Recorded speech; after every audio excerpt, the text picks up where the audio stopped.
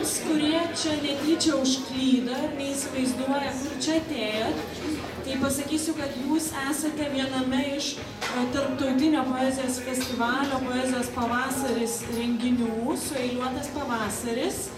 Ir, na, šiandien išgirsite daug uh, įdomių jaunų poetų ir poečių. Taip pat išgirsite dainuojamosios poezijos atlikėją. Na ir um, pagalvojau, kad gal pradėsiu uh, šitą vakarą poezijos pavasario laureato tekstu, kuris man čia atrodo visai toks tinkamas. Pagalvojau, kad gal paskaitysiu. Tai Ar jums girdisi viskas?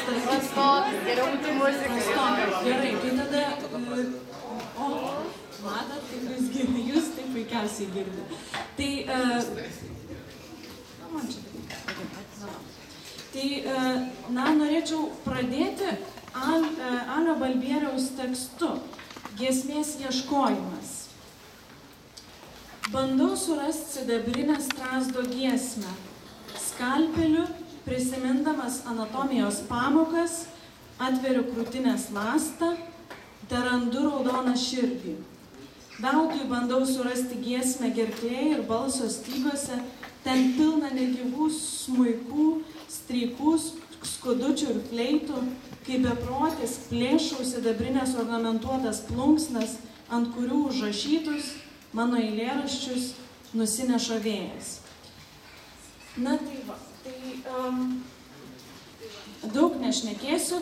Uh, šiandien dar toks nutikimas buvo, kad uh, prieš čia ateinant viena bičiulė atsiuntė tos burtininkės Palmyros prognozę šiai dienai ir sakė, kad nuo 21.40 labai blogas laikas, tamsus ir taip toliau, tai mes neturim užsibūti čia ilgiau, kad mūsų ne, ne, ne, nuo laiko žodžiu, nepatektume į tą blogą laiką.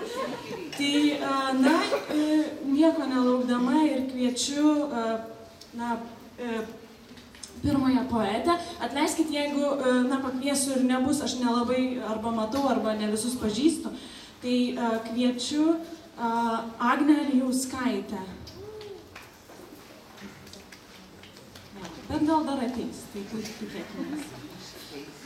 Gerai, tada e, kitas e, poetas yra Dominikas Andriuškevičius.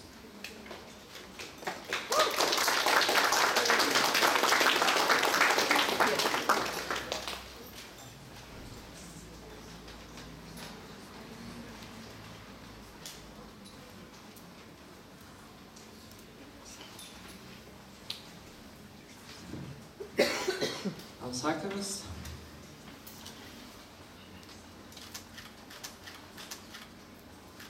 Kažin ką, ten kalbėjo lapai, kur manęs net nebuvo. Kai girdėjęs palei upę melas, kai viduj širdėjo apniuko.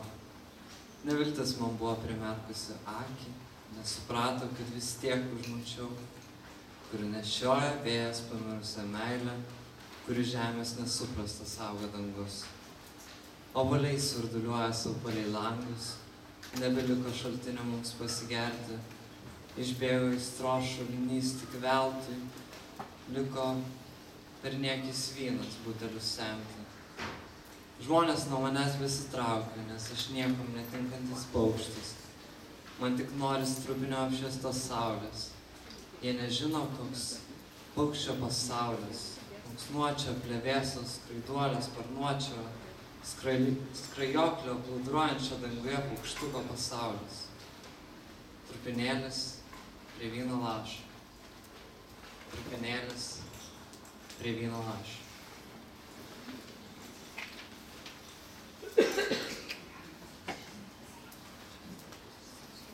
Užupa nepažįstamoji. Aš praėjau pro sulūžusį ir aplidėjusi pianiną, atsisėdau skaityti aptamusiai šviesoje. Ir tu atėjai ne per toli nuo manęs, ir tu vėliai išsitraukiai knygą ir spoksoji į mane. O aš arogantiškai pasižiūrėdavau į tave darydamas dekadiškus sekundžių tarpus. Mano jausmai norėjo patvirtinti tavo spoksojimą į mane. Bet dangai tu kaip lapas praplaukęs Vilnelė gražia. Prie mažosios Vilnelės užugo krante daug ištuštintų ir paliktų tuščių vyno butelių. Bet girdžiu aš tą harmoniją. Ne iš pianino, medinio ir išderinto, o iš poeto lūpų, pripildytų saldžių mėnesienos paukščio garsu. Iššaukia tavas mintis, laukia tavo atsiskleidimo, tik prieik, negundyk savo rankom. Kažkaip vis tiek aš nejaučiu tavo prisilietimo. Ir a, dabar du trumpučius.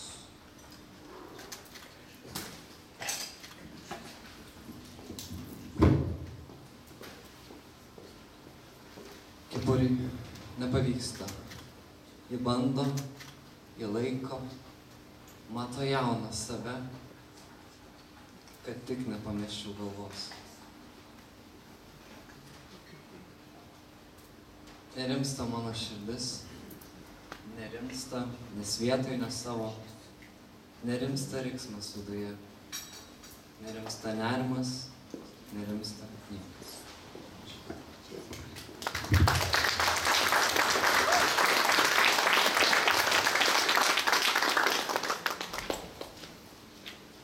Ačiū Dominikai.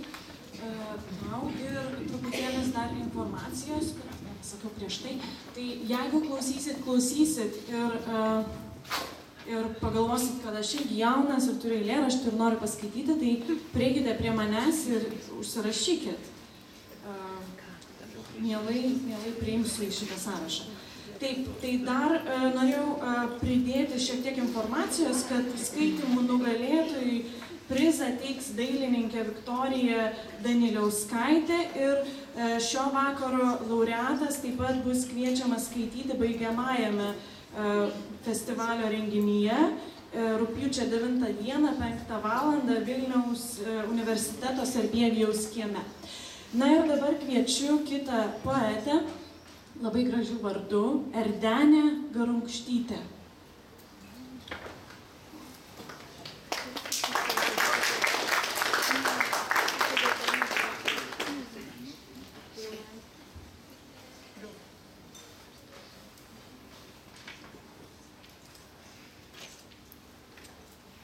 Tai sveiki, aš šiandien paskaitysiu savo du eilėraščius.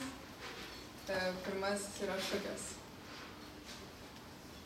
Kodėl, kodėl, kodėl, kodėl, kodėl tu vis skrendi, juk tavo kūnas kesta, jis krenta vis žemyn, žemyn, žemyn, žemyn. Girdžiu, kaip duštas sparnas, matau, šviesa, tamsa diena ir valgau šukės aš tavo sparną. Jos pjauna ir pjauna vis giliau, giliau nei kūnas, kažkur toliau sielai, o aš skrendu. Skrendu su tavimi, tik mūsų kūnai skęsta tai kraujo baloje ir sparno šukės treška, vis mano dantyse nekilk, jau šukės teka, šį kartą pro akis. Kvaileli, kaip tu kilsi? Juk stiklas pas mane. Iš šukių tu susidėliojai, naujus vitražinius sparnus, bet ar žinai gerai, kiek mano sielos vienam tam stiklo gabaliuke bus. Ir išskrendi toli, toli su mano siela, žemyn, žemyn, žemyn. Dabar beliko man tik tai sudažęs veidrodis ant sienos. Ir antras eilėraštis be pavadinimo. Aš kvepuoju šilta pavasario naktim, bet su kiekvienu gurkšniu oro vis įkvepiu daugiau tavęs. Mano plaučiuose nėra deguonės, aš dūstu, tu smaugi savo žodžiais, bet vis tiek man trūksta noro. Pabėg, aš noriu būti su tavimi šiandien. Kas kelias naktį. Nebematy dienos, aš dūstu, bet man taip gera, nes dūstu juk tavimi. Ačiū.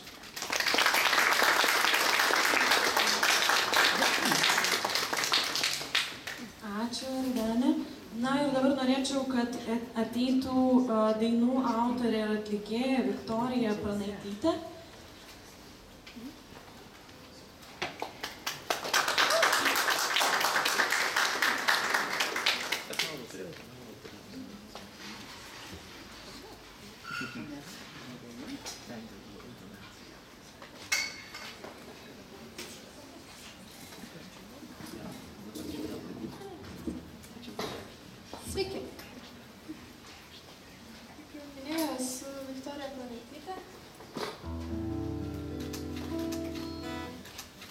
toks e, lietingas oras, tai viena daina pagal Antano Ajonino tekstą prisiminsi, kaip krinta lietus. Thank you.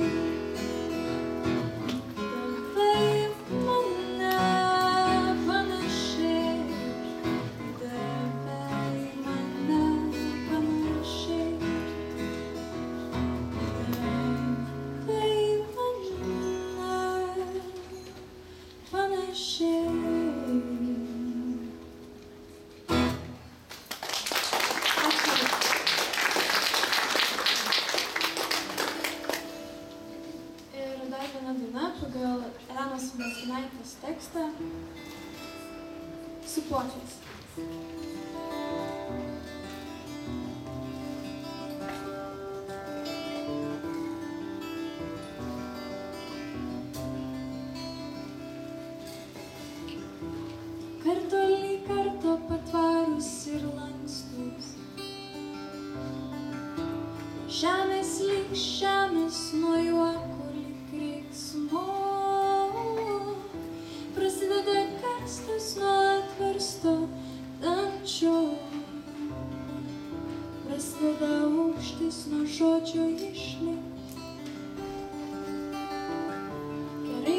时光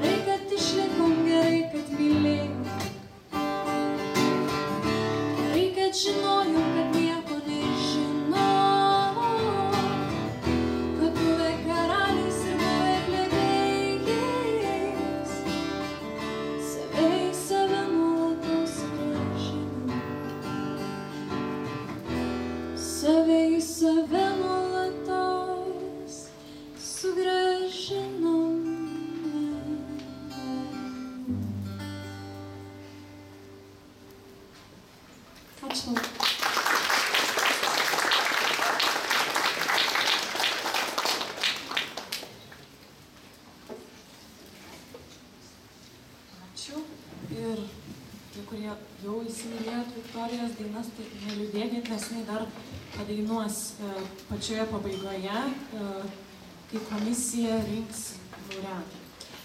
Gerai, toliau e, tęsime skaitimus ir norėčiau pakviesti Simoną Katiliūtę.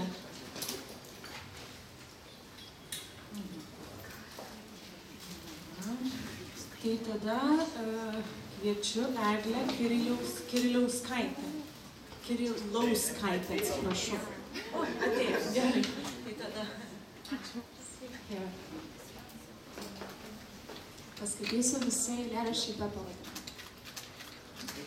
Yra pilis ant kalno tarp kitų žemės kurtų, kurios rytais pašiurpsta tingiems karvių varpeliams gaminant labą rytą.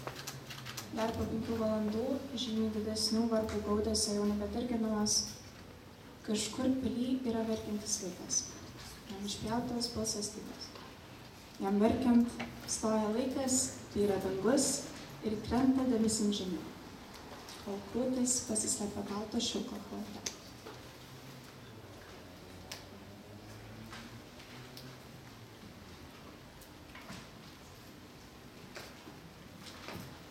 Kaupiu.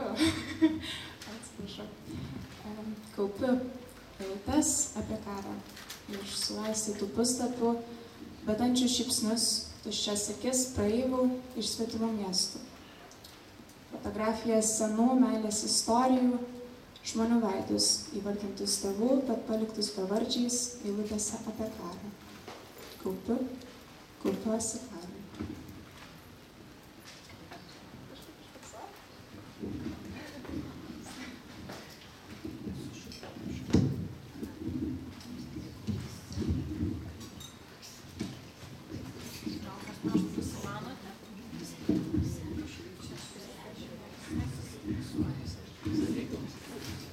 Ar yra nusimanančių mikrofonų fiksavime?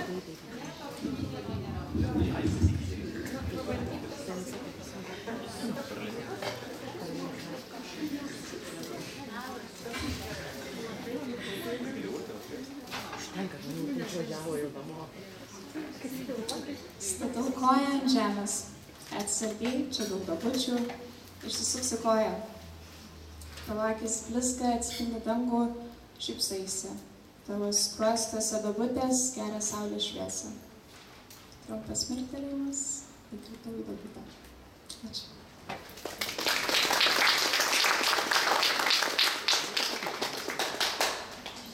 Ačiū kaip smagu man e, Simoną ir Dominiką matyti e, antrą kartą, nes a, Borutos e, sodyboj teko girdėti šiais metais.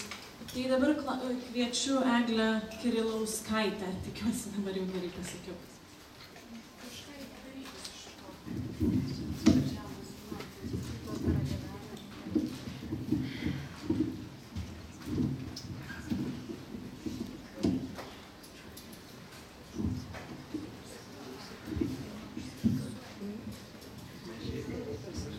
O tai gal tai tiesiog matai? Va, aš dabar perdavinėsiu.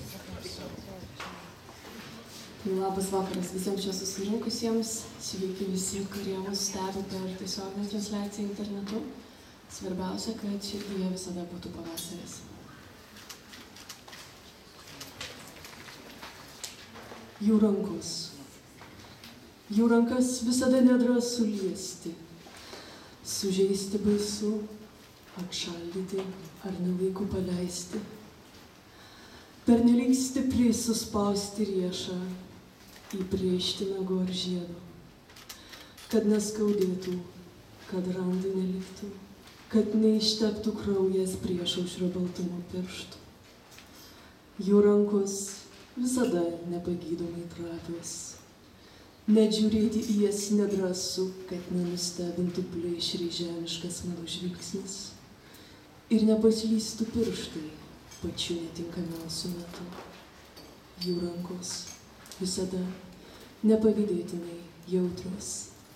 Net žodžiu jas įžeisti lengvai galėtų nesubtili mano rolė, akompanimento statusas. Išgazdinti jas galėtų vienu neapdairiu apkabinimu ir rankos slėpsis ir saugosis. Baugu bus žiūrėti, kokios didelės, kokios paklaikusios akys dangstosi neapgalvotų rankų gestų. Dar pastebės kas. Išgasti, ilgesį ir netgi aritmiškai žalę gaisrą. Kaip tada rankos pasiteisins, jų rankos visada neįtikėtinai baigščios, lyg drovėtųsi prisipažinti, kokią slepia savyje jėgą.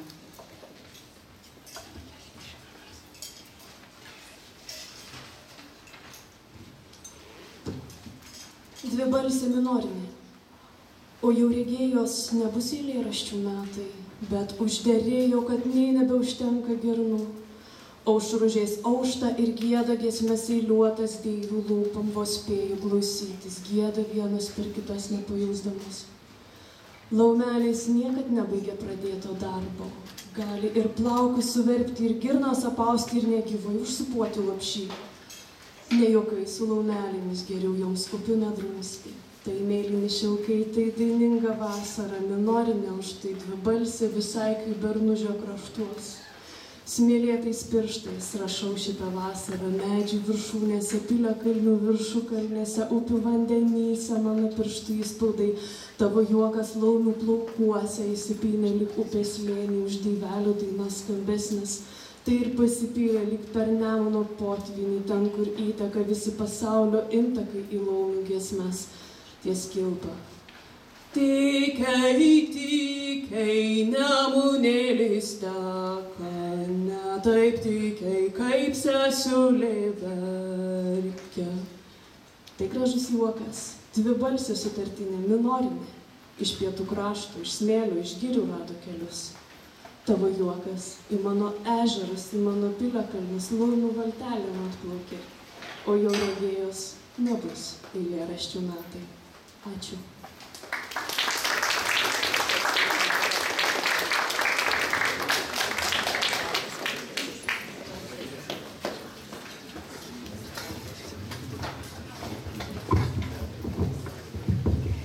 Va, kaip puiku.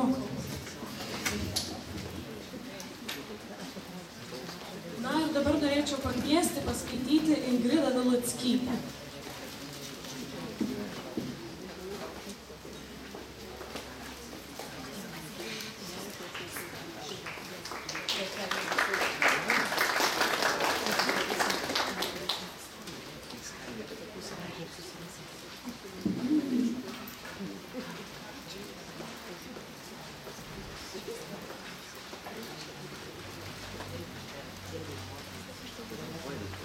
Sveiki.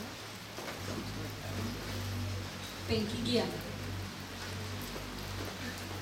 Po to, kai įves 5G ryšį, visi vežiai nustos reklioję neries akmenukais. Jie nukeliaus į ligoninės primomuosius, reanimacijas, procedūrinės, skaitys žurnalus laukiamajame, lankysis vyrų, moterų tualetuose ir bus galima daug greičiau paskambinti mamai, pranešti diagnozę. 10. Suskaičiuok iki 10 ir praeis. 1. Yra balta vata, vata yra tam, kad susitarti. 2. Namuose nėra mamos, yra tėtis, sukantis baltą vatą aplink raudoną pieštuką, yra ligolio tepalas ir nerintis jį pieštukas. 3. Jei susimaus, vata užsprings vaikas. 4. Yra lygos, yra praeinantis karštis ir tuštėjantis vaistai, yra kas rūpinasi, kam rūpi dar. 5. Pasikeičia laikai, nors laikrodžiai sukasi į tą pačią pusę, sergantis išgyja ir išgyja suserga. 6. Kokius simptomus jaučia nesergantis? 7. Dangus pamiršęs atakti ir keltose užmigusios žuvėdros, užėmusios visas keleivių vietas ir niekas nedrįsta jų žadinti ir pats žinai, kol negi esi saugus, esi saugus kaip šlakas kilimas ir tėtis daugiau nekels ant rankų. 8. kodėl jis taip ilgai miega. Ir kaip nubus, jeigu užkasa. Devyni. Suskaičiuok iki dešimt ir praeis. Praeis viskas, ko ilgiesi, viskas nuo ko gydais ir slėpiesi užmygęs. Devyni su puse nepraeina. Devyni per plauką nepraeina. Devyni su nutrūkusiu plauku. Suskaičiuok iki dešimt. Dešimt. Vienas. Be pavadinimo. mums perrašyti pasaulio pažinimo pratybas. Pasakyti vaikams, kad žiemos net pažins iš snaigių valančių, o pavasario iš žiedų, kuriuos ima ir užtinka sniegas. Teks pasakyti, kad nieko nežinom, tik tiek, kiek lieka stebėtis, kaip vyksta žaidimas pauliukais ir laimi tas, kas spėja suprasti, kad žaidžia. Kvepalai. Tu labai skaniai kvepi, beveik kaštonai žydinčiais, beveik jazminais, lyg ir šlapia asfalto danga, nors gal labiausiai blynais, ir miego žaistų švarioj pataliniai, ir batais naujais, ir smilkalais, ir knygom iš spaustuvės, labai skaniai tu kvepi, Dieve.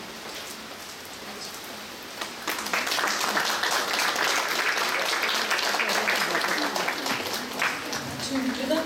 Ten, kurie žmonės gale po lietum stovi, tai noriu pasakyti, kad čia dar yra šiek tiek tų laisvų kėdžių. Tai arba čiupkite iš ten kėdę ir skaitykitės po pasikėčių. Kažkaip bėgit nuo to lietaus.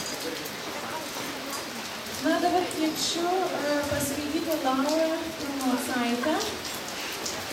Ir dar kartą primenu, kad galite užsirašyti šiandien paskaityti dalyvauti. Prieikite prie manęs. Palauk, bandau. ateik.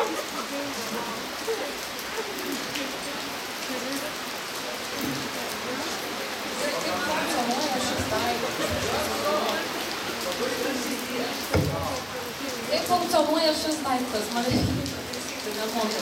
Help.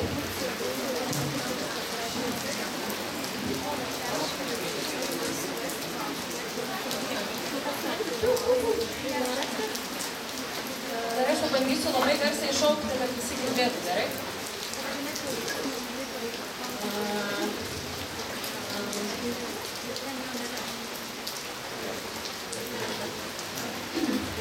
Robotikos pamokos. Pirma. Manęs nepaiso automatinės parduotuvių durys. Tikriausiai esu perregimas polietileninis maišelis, į kurį seniai niekas nebekreipia dėmesio. Atsimenu, kartas lankiojančios durys prispaudė mano ranką, kūnas jau buvo laukia, ranka su pirkinių maišu liko viduje, darbininkai kažką rakinėjo lubose, garsiai juokėsi. Antra.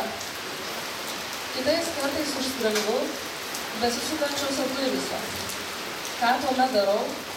Stoviu ir žiūriu į stiklą, tada ateina tikras žmogus ir aš išsilaisvinu po pamokų. 2012-aisiais pažįstama mergina išdaužė stiklinės viešbučio duris. Perėjo kaurai. Klausiau, ar skaudėjo, sakė ne, dabar į tiek daug kalba apie smėlį. Jūs girdite kažką? Taip? Niekur. Palauk, man gal kažkas nebekoks. Keista viena, kažkaip viskas atvirkščiai.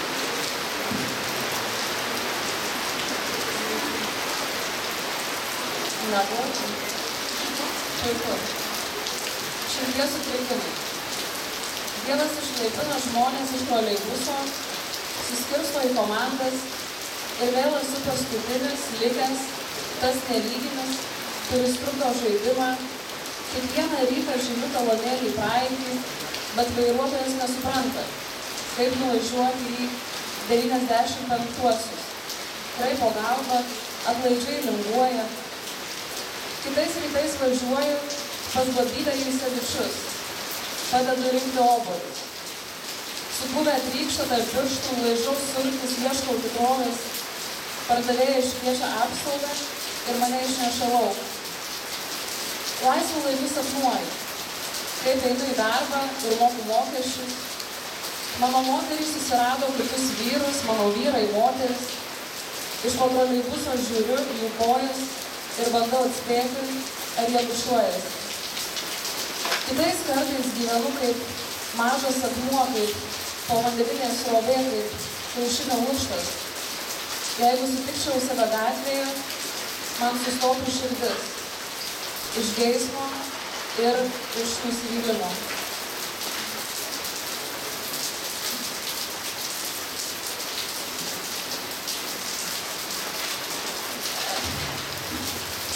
Anuomet. Mes gėrėme alų, darėmės tatuiruotės. Užsidarydavom namuose kasmet balandžio pirmąją dieną, kad niekas neapgautų, nemeluotų, bent vieną dieną iš 365. Radome draugų, radome meilužių, keitėme namus, Gruplevskio gatvė, Antakalnis, Savanorių prospektas, kaip seniai visą tai buvo. Miestas mus iššūkė ir išspjovė, visą gyvenimą praleidom pagiriuose, tikėdamiesi amžinos meilės, švarių patalų ir ko nors, kas nepaliktų, ko nors, kas neišspūdintų ryte, susirinkęs daiktus. O tada vieną dieną sudegė mūsų miestas. Po to dar galėjai girdėti tyliai poštant elektros laidus, kalbantys su draugais, jie kosėjo, žiežirbomis, konfeti, aprimę, išsiblaivę, šypsojosi krūvinais keliais. Dabar. Prie parduotuvės būriuojasi jauni vaikinai iškarmolytais marškiniais. Kvepia mailu ir motina vis dar. Neklauso Dievos muzikos, varto rankoje mašinos raktelius, autobusais važinėja tik prietrankos ir netikėliais, o mes nemokame vairuoti ir nekėtame rūpešių vis dar. Anadien draugas man parodė vieną aikštelę, kur kažkada gavo kamuolį į dantis, dabar ten pat mokosi parkuoti atbulus. Anuomet mūsų miestas sudegė. Dabar pastatėme naują, lygiai tokį patį. Įdant ir vėl viską iš naujo sunaikintume. Ačiū.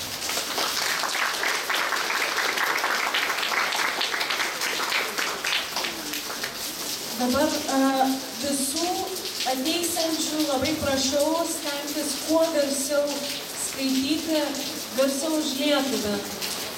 Simoną Bulotą dabar kviečiu. Atbrisk.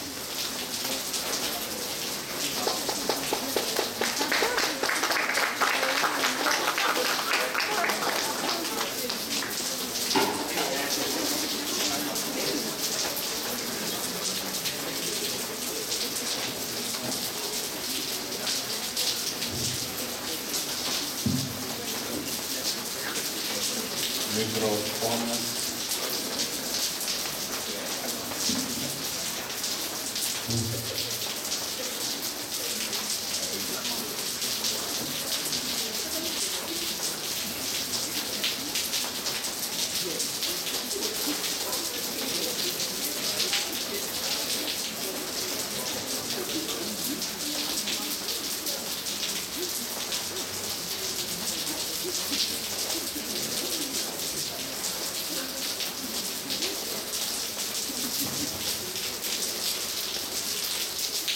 Paliesti kieno nors širdį, kaip dešrainius iš degalinės paliečia ranką, burst ar ne burst, kokie gali būti skirtumai, kai skausmas yra skausmas, o išorės lūpasi, štai stalelis dviems, tik reikės klūpoti ir dėkoti.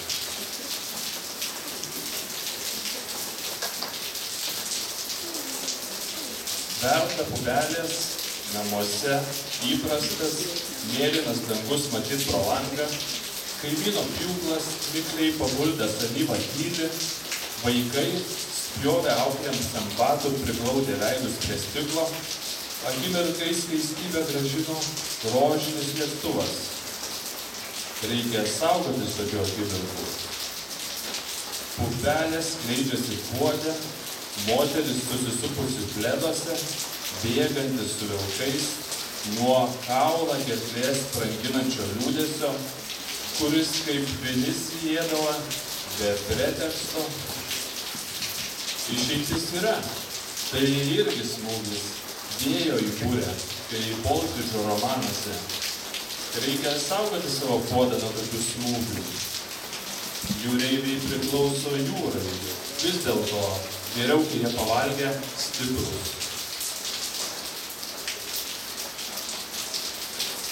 Esu didelė meška, kuri kasusi šonkaulius ir gyvena žeminės meškos asanoje.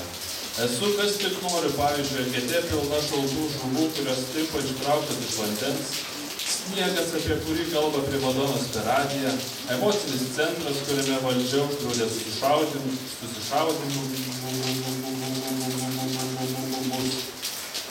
imtynininkus diskvalifikavo, o gyvūnų iškamšą sudegino prieš tai galingai urinavę. Esu ir pakaktų tik to, bet esu didelė meška ir noriu dviejų saulių. Kad jos tekėtų be paliaugos, kad jos skraidytus mano kailyje kaip utėlės. Esu labai didelė meška.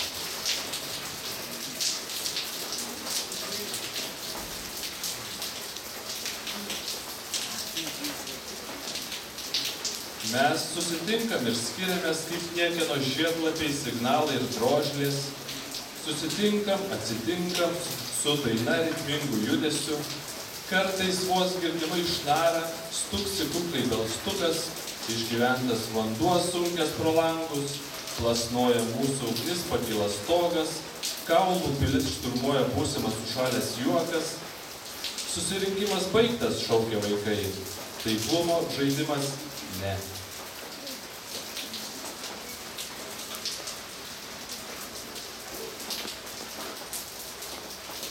Ateik, koks esi pro langą į būdį, kur liftas žasis dar greužia skrebutį, kur sekdamas pasaką užknarkė ponas ir uždvokė astrom pasenęs plafonas, pentilais žvangančios kojos, kaubojų ir kiaušai jų kaip arkliai, ar volai, per žvirgždą šliaužia liežuvis gyvatės, toks koks esi, ar jau matosi,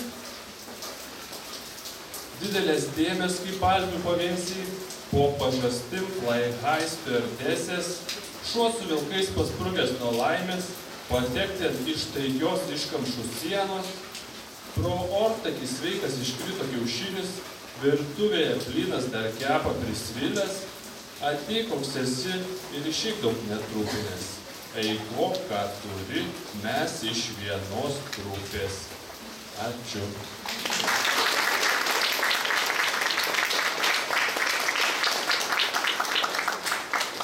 Man atrodo, kad po truputį apstoja lyti. Gerai, kviečiu Tomą Petrulį.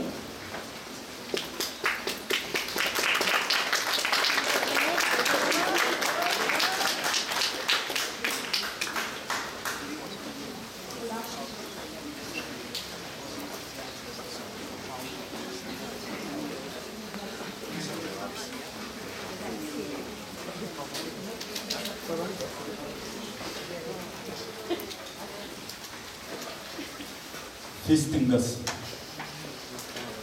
Viskas per daug vienoda, kad būtų kartu dar ir tikra. Dieve, matyt panikuoju. Tu atėjai lygiai taip pat, daug daugiau negu kartą. Ir kalbėjai viską tą patį. Ir viską žodis į žodį. Kol išnyko visas judėjimas. Ir taip pat supratimas, kas tokia per viena tu. Ir į ką aš nuolat kreipiuosi nes esi daug daugiau nei viena ir vienoda. Ir labai jūsų daug tų vienų ir vienodų. Todėl kišiu aš kumšti ten į tarpą tarp mūsų, mums abiems taip staiga atsiverusi. Dieve matyt panikuoju ir ištrauksiu su kumščiu kažką, nors ten nieko nėra. Dėl tavęs aš ištrauksiu. Ačiū.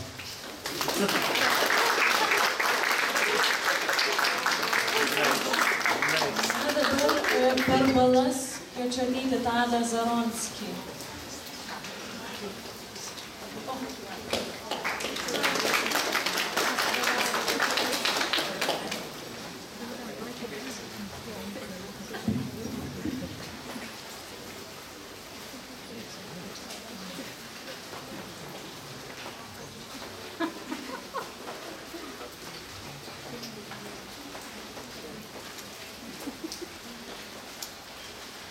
štai einu į tą jobaną metalo dėžę, kuri gal neištiks.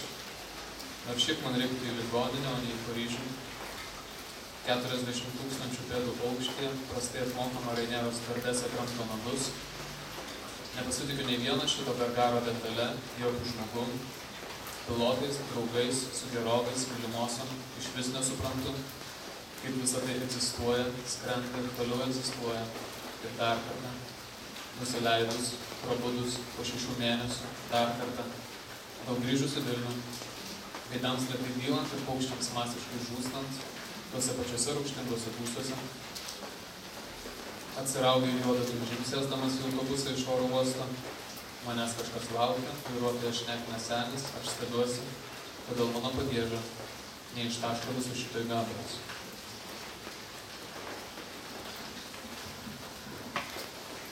Prabundant, skundžiantis. Taip, aš vėl nepradėsiu kažko nepabaigiamo. Diena bus visa trumpumo nuojautai, pabaiga. Bus jau atėjusi visus daiktus, kurie joje pasirodo. Dėl to bus neverta nieko imtis. Taip iš tikrųjų atsimerk. Ar matai, kaip vaikai, kuriuos galėtume dabar be jokio prezervatyvo sukurti, raukšlėjasi su sarkavėžiu, turi eiti šūdino darbą su vyru į dulkės.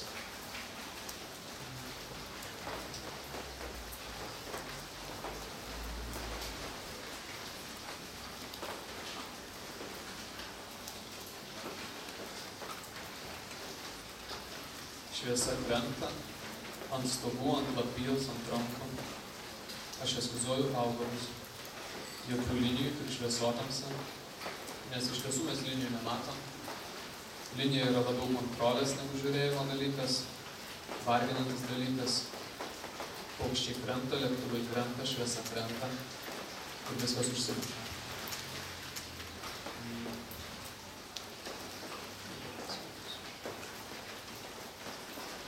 Neturiu ką pasakyti, nes gėlės abstrakčios, plastikai jie visi vienodai mano balkone, auga viso pasaulio plastikai. Ir šitas vakaras yra visi vakarai. Aš nieko nenuveikiau 30 metų muiščiausi baimėje. Kalbėjau abstrakčiai ir gailėjausi abstrakčiai. Ir stovėjau kaip įvestas stačias, kol kažkada man daužė galvą. Aš taip nenoriu prisiminti, bet daugiau nelabai liko ko norėti. Visas reikšmės. Nusipiso nuo žodžių, nusidaužė nuo žvilgsnių. Pilki balkšvi šviesotamsas paviršiai. Ir kvaili nejautrus personažai supa tą patį pagrindinį veikėją, visų svarbiausią pasakotoją, vyriausią sūnų, talentingą, jaunuolį liesą užgultą berniuką, kuris taip tyli, taip visiškai nesako nieko, kad atrodo girdi tam svindime viso pasaulio vienuolykų chorą.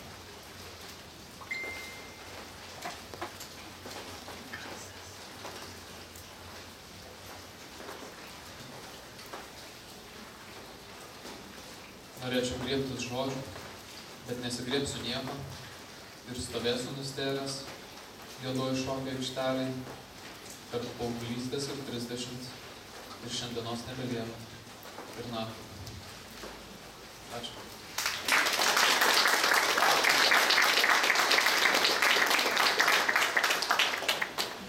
Dar noriu paklausti, gal atsirado Agne Alijauskaitė? Um, na, tada kviečiu Eglę Kušlytę.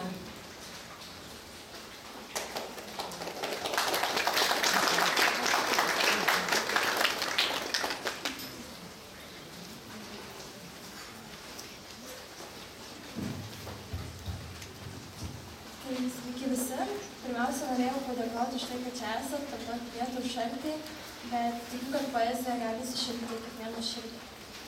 Tai gėrimas.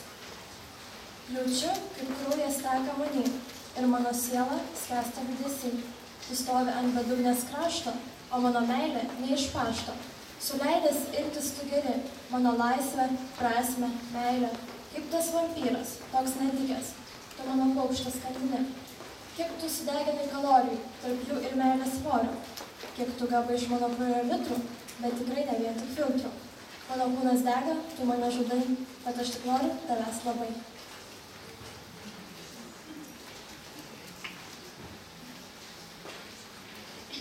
E, 2018-2017.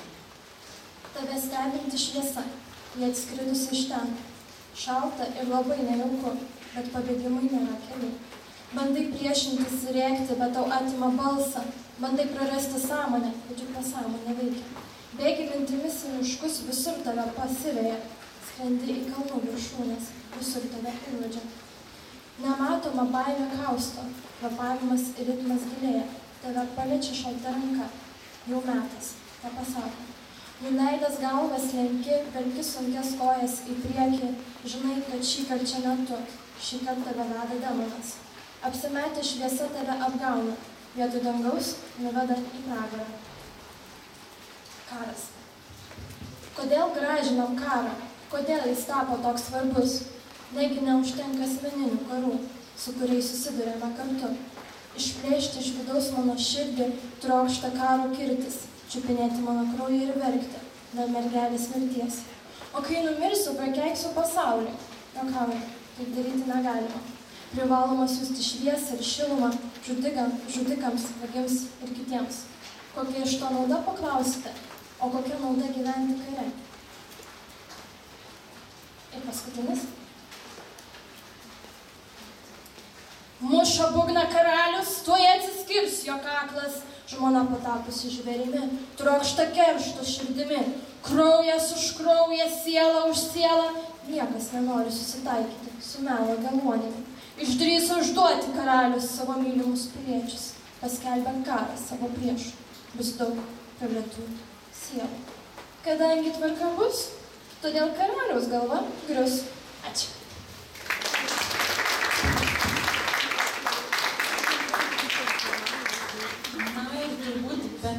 Paskutinė dabar, nebent kas nors dar persi, už susigalvos paskaityti, paskutinė autorė tai yra Justina Žvirblytė.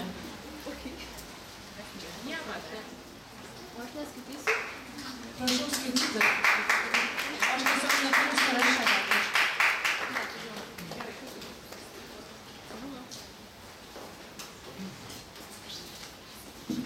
Sveiki visi. Astronautas Krisas Hetfieldas sakė, kad išėjus į beorę erdvę ir pažiūrėjus į kitą pusę nei Žemė, tamsa tokia tamsi, kad norisi įkišti pirštą. Kai plaukėme požeminę upę New Yorko valstijoje ir gidas išjungė apšvietimą, tapau tašku be kūno, atrodė, kad neturiu balso, atrodė, kad visuomet ten buvau. Turiu tamsią kišenę, stengiuosi mintimis neužklysti, ten yra žemė, mėlynas karaliukas, žirnio dydžio ir mūsų ten nieko nėra. Prabundu nuo ateivių intervencijos į mano organizmą. Laukia oras viesus ir melsvas, pilnatis, jokios romantikos, toliau testuojamas vėjo tunelis, naujausios technologijos reikalingos, kuo efektyviau ir pigiau skraidinti mus aukštyn žemyn nuo šito rutuliuko, nuo šito kartaus pipiro, kurį ką tik išvėjau.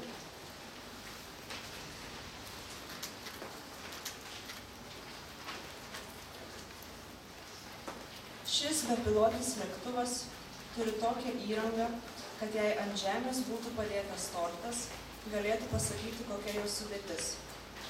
Nusiperku tortą iš Maksimos, padedu ant žemės ir laukiu, laukiu, kol pasirodys bepilotis lėktuvas. Atsigulu ant žemės šalia torto, gal prie to paties, pažiūrėtų, kas ten su širdim.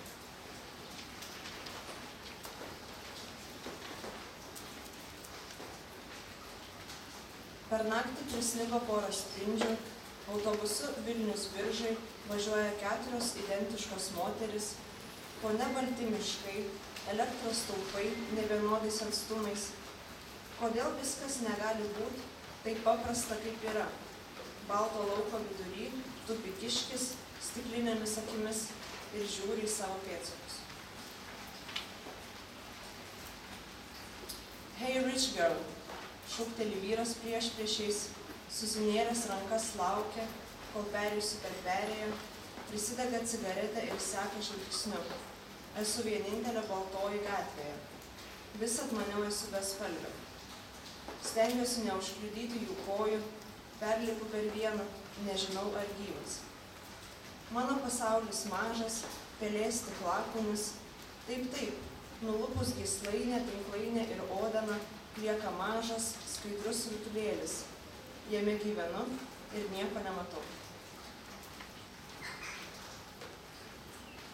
Taip ir palikim, kol dar trupa po padais minulio pilkas smėlis, kita stotelė Marsas, kita stotelė tėvų namai. Padėkime čia ilgą brūkšnį, siejantį du skirtingus mane ir mane. Taip ir palikčiau, sako, skriščiau pati pirma, nes yra didelis vandenynas, kuriame plūduriuoju. Mirčiau, sako pati pirma, nes tikrai neturiu pasirinkimų. Ačiū.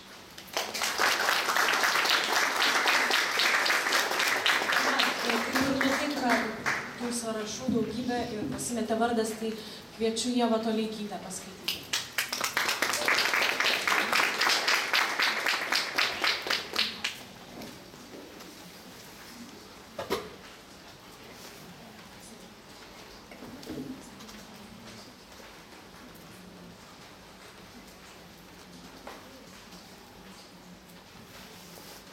Pykčio nikštukas. Šitoks eilėraštis mano įspūdžiai iš darbo knygų mugėje. Pykčio nikštukas. Tausuota senė knygų mugėje, kaulijanti dviejų eurų nuolaidos knygoms, kurių neskaitys. 68,5 tūkstančių žmonių minė, kurie paskui taip džiaugsis portalai. Skaičius kasmet vis didesnis. Visos poniutės su kostiumėliais, popierinio maišelio kaina, priimančios kaip asmeninį įžeidimą. Prieš 10-15 metų raudočiau įdama iš mugės arba sutriekšta spūstyje. Iš tiesų taip ir buvo. Ant svetimo mėlyno sintetinio švarko. Ak, kad mano ašarų druska išėstintų jame skylės dėl buko godulio lėkštumo lemenčių. Atsiprašau, dabar kraujas plūsteli į smilkinius, atkakliausiams pirkėjams kartoju. Ne, manot žmonės neįdėjo šitą knygą darbo, jei kitur pigiau, ten ir eikite. Pernelyg užsiplieskiu. Žinau, tas pyktis yra vėluojančios brandos, sveikimo ženklas. Bet nieko, po dar dešimties metų mokėsiu visus tuos gopšuolius supjaustyti skalpeliu, mandagiom tiksliom frazėm, baltas kruostė būsiu. Gal taip ir tampama blogų žmogumi.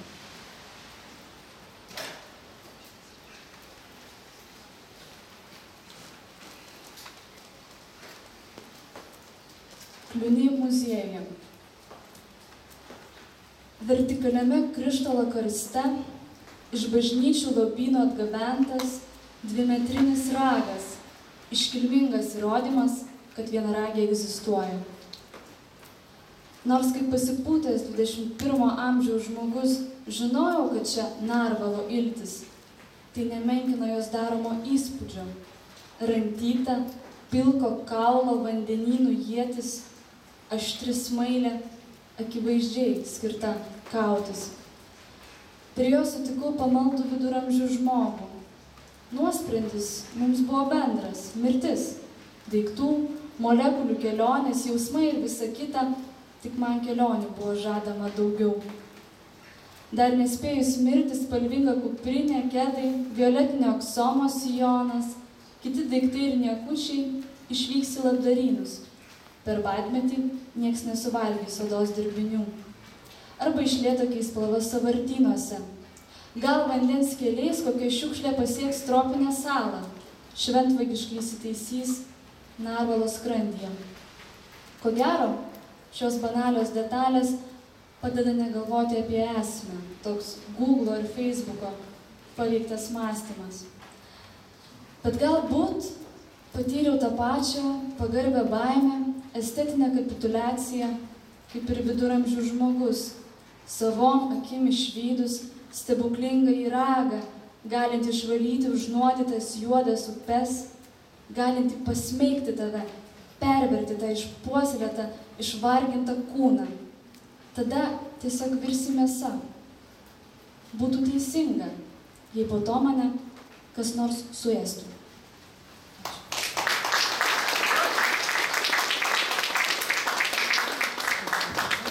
Turime vat neseniai jūs rašusi žmogų, tai yra Gintarė Valašinaitė, tai ją kviečiu.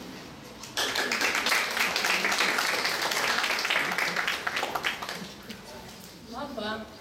Mano dalykai neturi pavadinimų, tai aš kažkaip vyktelėsiu tarp jų.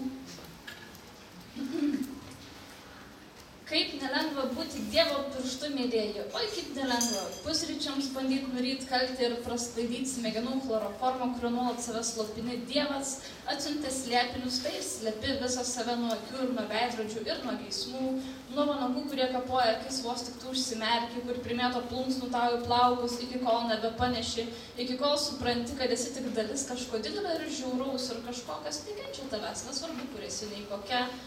Aš esu surūkti Dievo antakį, aš esu išstorėjęs Dievo lėmuo, aš esu nebegirdinčios viešpaties ausis, aš išmokau užgneušti raudas atrėdančias sienom iš kitų kambarių, vakarais, kai nuo jų ima pykinti, kai prasideda prieš laikinis neapykantos gimdymas, kai jau nebestaugiai tamsa, tik įdėmiai klausai.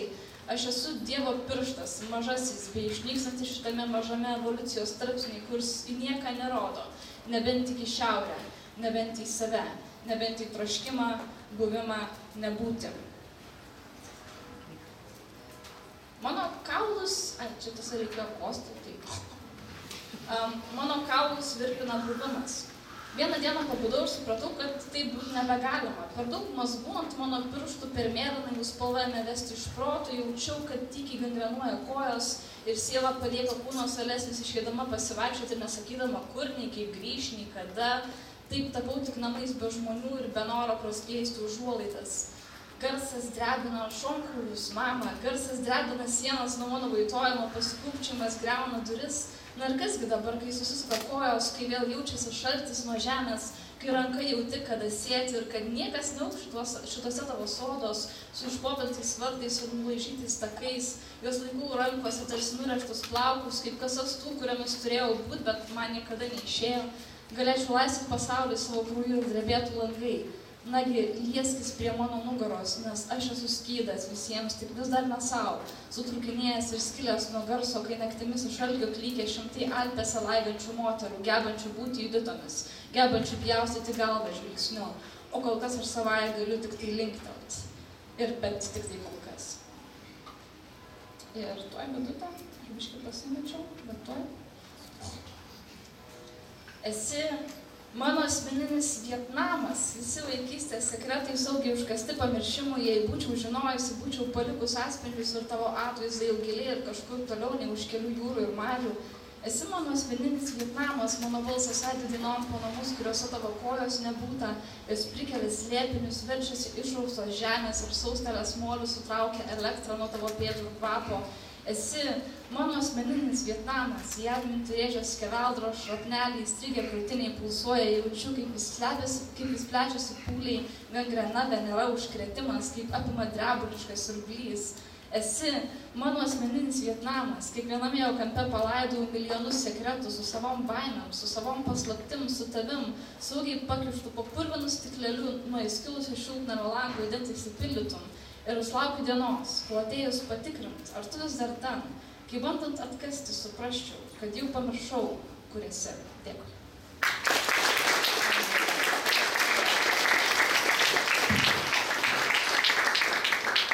Rankose turiu uh, poezijos pavasario almanachą.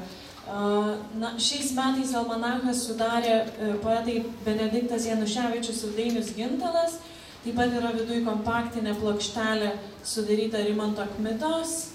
Ir na, čia galite paskaityti praėjusiu metu bene geriausias publikacijas. Ir, na, tai kai, kai jau baigsis renginys ir eisit namo ir ten prie durų pamatysit, tai įsigykit. Ir dabar e, kviečiu Viktoriją Paraniauskaitę dar padainuoti, nes mes jau e, išgirdome visus poetus ir poetės. Ir kol e, Viktorija dainuos, e, na, komisija mąstys, kalbėsis ir tada paskelbsime su Iliuoto pavasario, pavasario laureatą arba laureatę.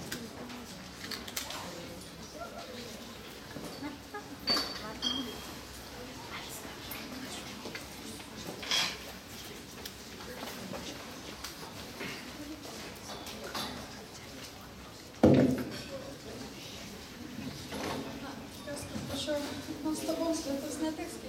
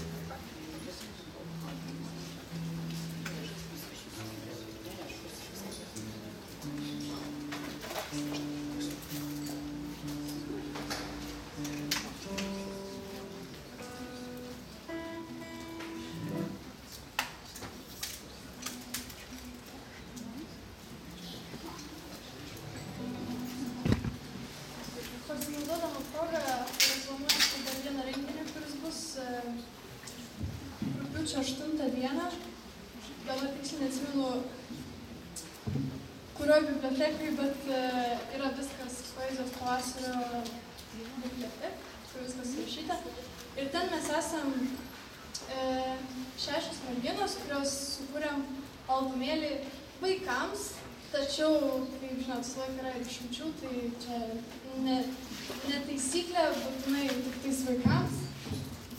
E, visai ir suaugusiems tinka. Tai aš vieną iš tų dainų norėčiau jums pagroti. Nors ir viena ne taip gerai skamba kaip su šešiom merginom, bet tikiuosi, kad e, vis tiek visai neblogai nuskambės.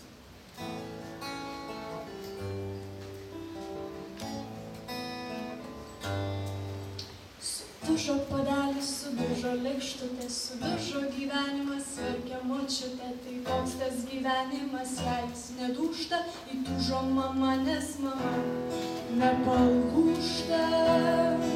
Na buvo senoji šimto gal metų, na gal ir garavo ten šimtas arba, bet buvo trapus iš trapaus porceliano ir įspūdį darė tik tam, kas išmano. Sakė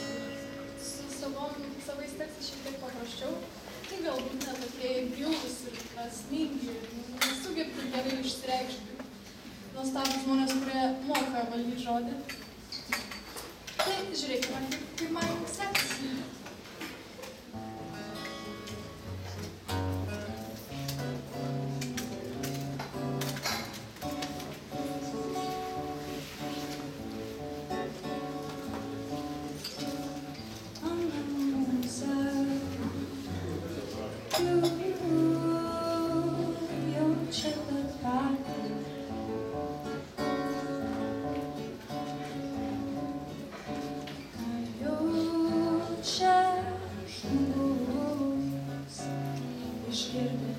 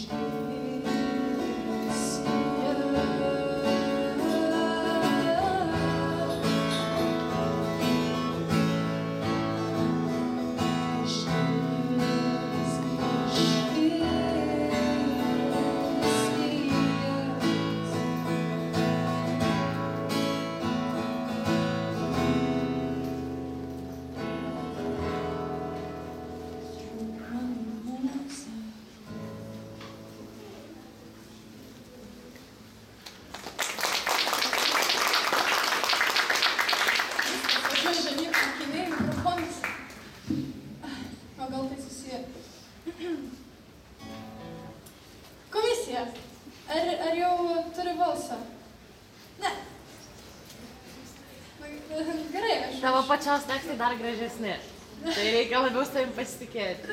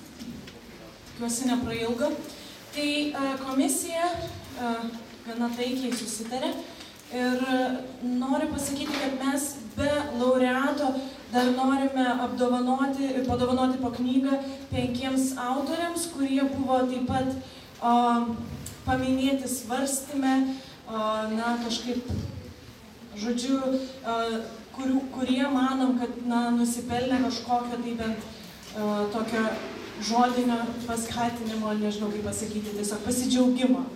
Tai dabar tiem penkiem žmonėm, o po to pasakysiu laureatą. Tai um, Laura uh, Kromalcaitė, kviečiu tave knygos.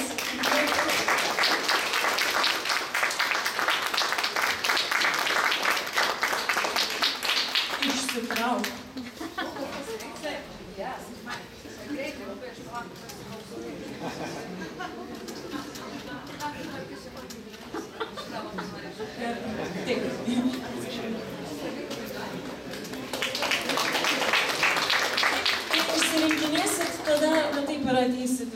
kol liks viena. Gerai. Tada kviečiu e, gintarę e, Vala, Valašinaitę.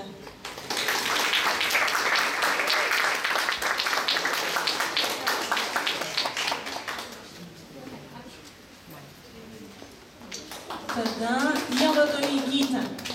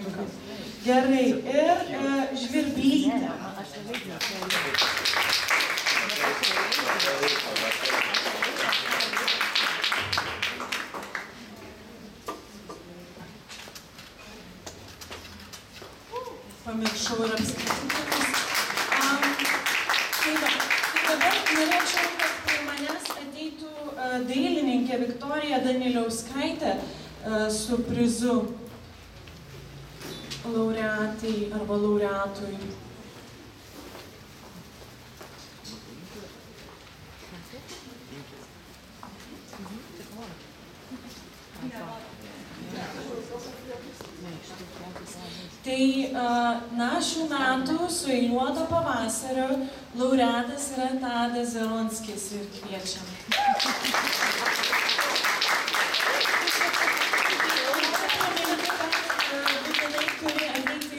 A, poezijos pavasario uždarimo vakarą, kur irgi paskaitysi savo kūrybos.